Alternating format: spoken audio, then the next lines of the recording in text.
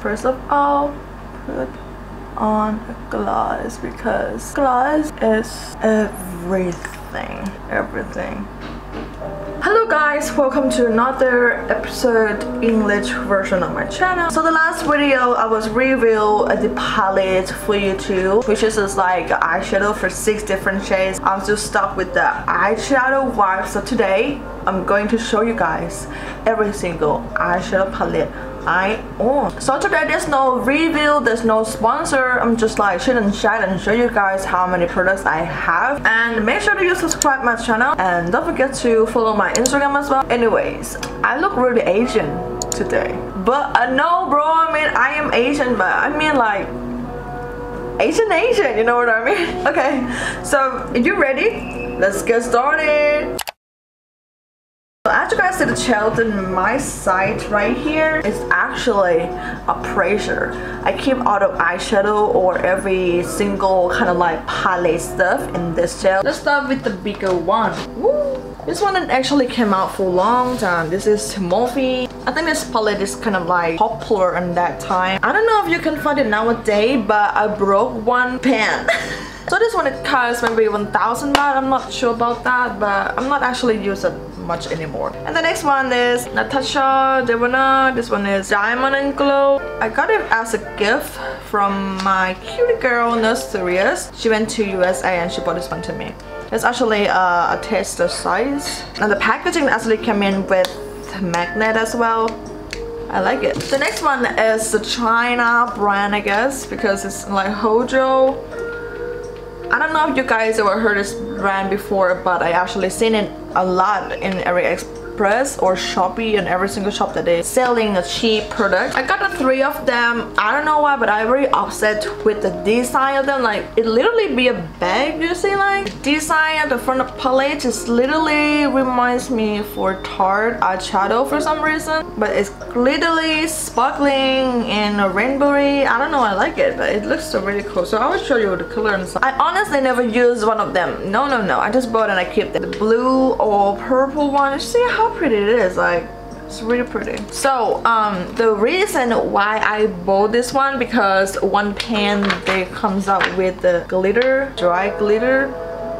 You see? So when you put an eyeshadow like another one, it just literally just powder pack color. But this one is a dry glitter. So you just like tap the glitter on it and you can see it. It's really cute. So I bought this one because of this. This one is black one. I mean if you are like a really beginner start to makeup, I think you might buy kind of this because it's not expensive and it really just like medium quality so you will not disappoint with this one I think and the last one is the pink one it's really look cute with this palette uh, this one also include with dry glitter too but it's like a pink glitter. So the next one is 4U2 look at me palette. I got six of them. Oh,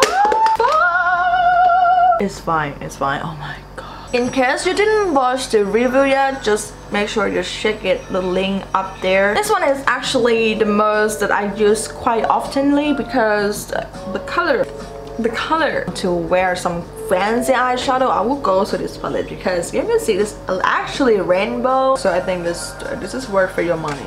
I'm not sure how much is it. I forgot because I bought it for long ago. Okay next one is for you to Even Boy Cream Brush Palette. Try three of them. But two this one I haven't tried yet. Okay, the next one is Essence. I got it from the event I went to. And there's a promotion like buy one and get one, some kind of thing. And I got two palette. Uh, this one is Hey Cheeks. This one is quite popular. Contour, highlight, bronzer, cheeks, brush, and everything. I think it's really worth for your money. The next one is G Day Sydney eyeshadow palette. I haven't tried yet. I don't know what exactly the tone is. So the next one is Naked, Urban Decay, I got Cherry, and I got Heat palette. Oh, and another Morphe. It's this tiny one. And next is Colourpop. Oh my god, what a mess. yes, please palette. Oh my god, this palette is literally everything too. It reminds me for a McDonald's themes color. and a pigment. Uh-uh. Mm -mm. Pigment. Mm Okay, next one is Tarte Pro. Every single color is kind of like mixed with the gray or smoke color. Even even the brick color right here, it still see as a dark brick color, which is sometimes when I put on my eyes, goes really heavy. Sometimes I don't want to wear a lot of makeup, you know what I mean? This one I pre-ordered from some girl in my Facebook. It's just literally just 200 baht. I found this on Beautrium. Uh, it sells like five or 600 baht, I believe color inside uh, is literally easy to use like brown red orangey gold. You guys can see there's literally like victorian picture on it like a 3d print on it. I really like another one that i never use is Mei Linda color block. This reminds me for 70s makeup you know like heavy makeup grunge makeup kind of like a really blue dark some kind of like green and stuff like even the gold color is still dark. This one is my favorite. I always adore with this palette because the shade the pigments the tone is literally suit on me. It's kind of like pink nude unzipped palette see? This one. This one. This is another Beverly Hills uh, modern renaissance palette the color that everybody knows. Is actually really good common and easy to use adore. I think this palette is kind of like a couple palettes. They start a trend. Red eyes orange eyes kind of thing. People still use this palette nowadays honestly because I've saw some people still use it on Instagram as well. Um okay so the next one is also my favorite brand. This is Supermom. This is uh marble palette. This one, girl. I mean like, duh. The next one is a New Nubian by Juvia. Gorgeous palette. I use this for like a couple times. The next one is Sweet Talk by Colourpop. Girl, I mean, it's literally gorgeous, doesn't it? I like to wear this palette every day, honestly. This has become my favorite palette for now. Another Colourpop palette. This is the Femme Rosa. I don't know if you guys notice it, but I, I am a big fan of rose. It's actually easy to use, especially with this shade. It's so cute. Another Colourpop palette. Guess what? Okay, this one is actually more colorful and more fun. If you can see the palette is like including with the nude, brown and blue and also hot pink one. Like what? Girl, what? And guess what? Another Colourpop palette. Give it to me strange. This one is actually usual palette because the color in it is really easy to use as well. It's lily burgundy again. But it's more purple on the bottom line and the peachy on the middle one and nude on the side one. So I think it's um, our top. And guess what? Another Colourpop palette. I think I love you. Oh, brown. Literally nude, brown, gold, and black. To another one quickly. Oh, this one, I just revealed this one.